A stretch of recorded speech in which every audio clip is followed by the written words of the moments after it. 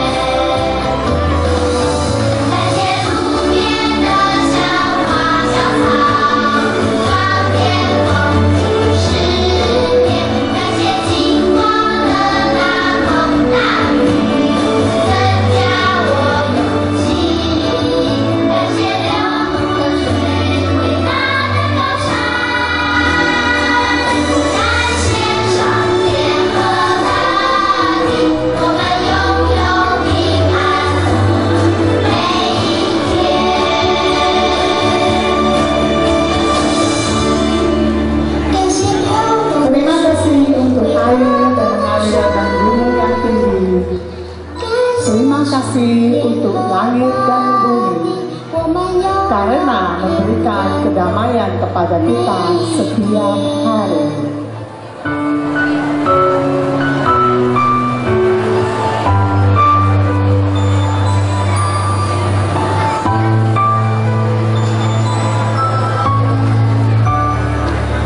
Tangan kepada anak-anak Budi Pekerti Sisi Pekanbaru.